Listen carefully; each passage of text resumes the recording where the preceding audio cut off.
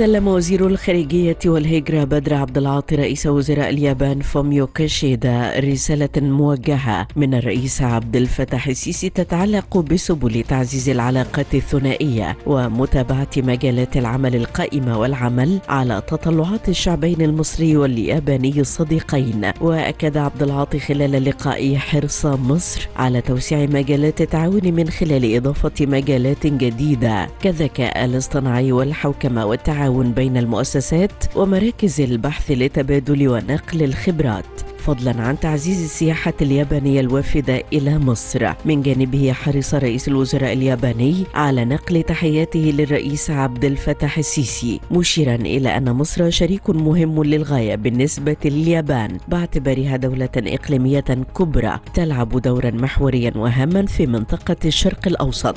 كما أكد رئيس وزراء اليابان تأييد بلاده الجهود المصرية الرامية لخفض التصعيد والعمل على استمرار إيصال المساعدات إلى قطاع غزة.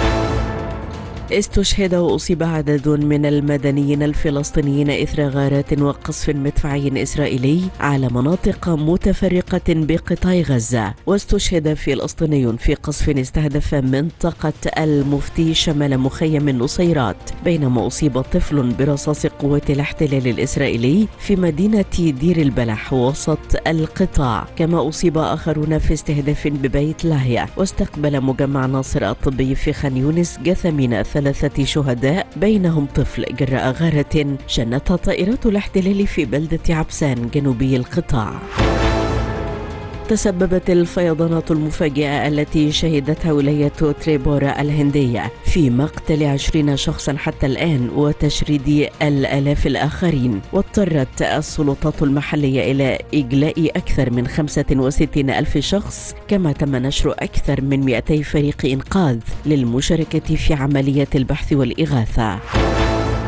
أكد وزير التعليم العالي أيمن عاشور أهمية مشروع المراكز الجامعية للتطوير المهني لافتا إلى أن القيادة السياسية تولي اهتماما كبيرا بهذا المشروع الذي يرسم خارطة طريق لتحديد الاحتياجات الفعلية لمجتمع الصناعة. ويسد الفجوة بين الخريجين وسوق العمل من خلال إجراء الدراسات والمسوحات الميدانية وتوفير المعلومات اللازمة للجامعات لتنعكس نتائج تلك الدراسات على تطوير المناهج والبرامج الدراسية في مختلف التخصصات. تابع وزير الإسكان والمرافق شريف الشربيني الموقف التنفيذي للمشروعات السكنية والخدمية والترفيهية الجاري تنفيذها بمدينة العالمين الجديدة موضحا أن العالمين الجديدة إحدى مدن الجيل الرابع وتقع بمنطقة تعتبر الأفضل على ساحل البحر المتوسط وستكون مقصدا للسياحة العالمية والمحلية ومدينة صالحة للحياة على مدار السنة وتضم مختلف أنواع الإسكان لكل شرائح المجتمع وجميع الخدمات التي تحقق جودة الحياة لسكانها ومرتديها.